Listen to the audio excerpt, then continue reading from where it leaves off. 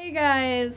Uh, so this week's theme is back to school. I'm Bri. I just joined the channel. Um, so yeah, you'll be seeing a lot of me every week. Um, my the topic I chose for this week is um your mental health versus grades slash school. Um, I personally have dealt with this. Um, so like your mental health is more important than your grades.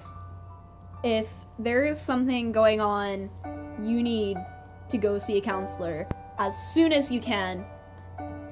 Like especially if you're feeling like you want to hurt yourself and or others, go to a counselor. I swear to god, it will save your life. Um I have really bad anxiety.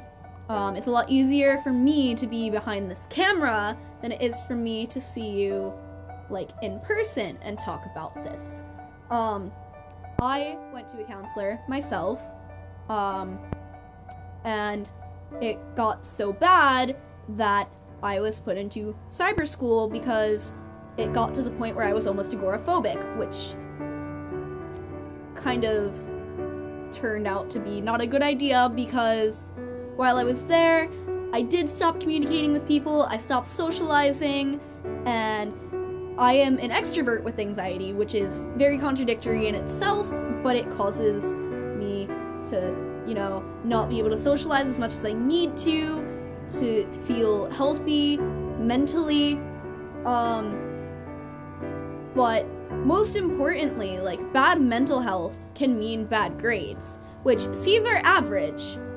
So if you're in like a basic or applied class and you're getting a C, you're perfectly fine. But if you're in an honors class and you're getting like a D, like you're doing great.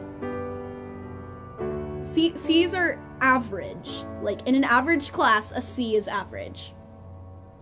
But the thing is, your grades are nothing without you, so you need to take care of yourself. Your mental health is just as important as your physical.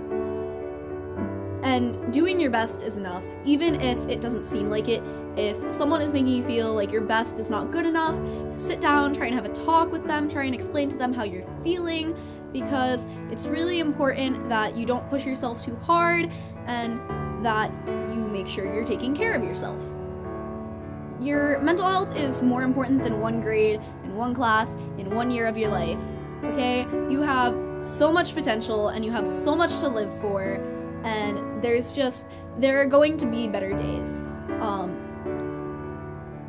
for those of you who haven't checked out Danny's videos, go do that after you finish this, and everybody else's. But um, Danny just graduated from the high school that I go to as well and she really helped me through this year, like with the transition into from middle school into high school. And when I came back from cyber school the second semester, she acted like I had never left. And it was great. It felt nice to be accepted like that. So try and find those friends like that. I'm quite sad she's graduated and going to college now. I love you, Danny.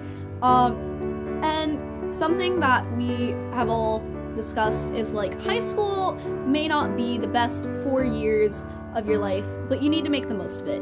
Going through it with the mindset that it's something you need to survive is already setting you up for failure. Things might be bad right now, but I can guarantee you they will get better.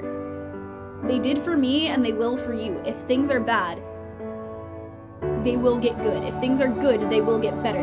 Nothing but improvement is going to happen. Like if you were doing bad in middle school, you can start over once you go into high school, and it's really great that you can do that. Um,